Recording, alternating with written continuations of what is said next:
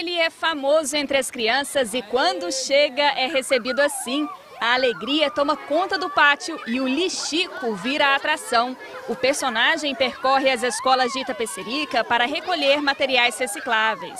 Eu recolhi caixa de refrigerante, é, rolinho e sacola. A gente tem que reciclar para fazer bem ao meio ambiente. A Escola Estadual Professora Maria Magalhães Pinto tem 200 alunos de 6 a 10 anos e todos participam do projeto.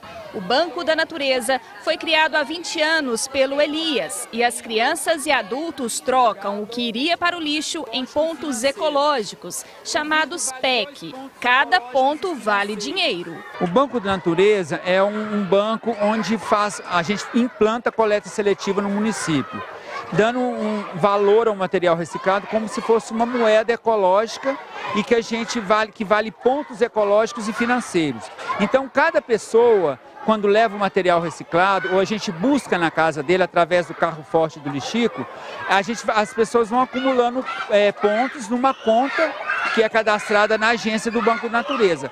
Quando faz 10 reais, eles podem resgatar o valor em dinheiro.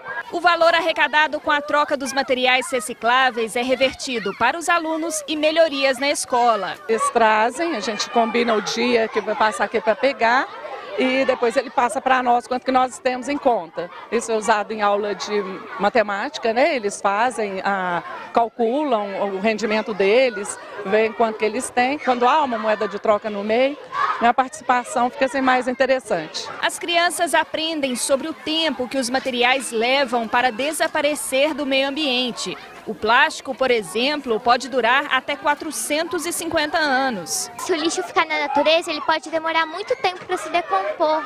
Eu falei na minha casa que que eu aprendi aqui na escola, que reciclando o lixo, a gente ajuda o meio ambiente. E a gente jogando lixo na rua, a gente estraga o meio ambiente. Depois do recolhimento, os materiais são levados para o depósito, onde são separados e prensados. Tudo isso aqui é uma pequena amostra do trabalho. No ano passado, o Banco da Natureza recolheu 200 toneladas de papelão, 20 toneladas de plástico e 5 toneladas de latinha.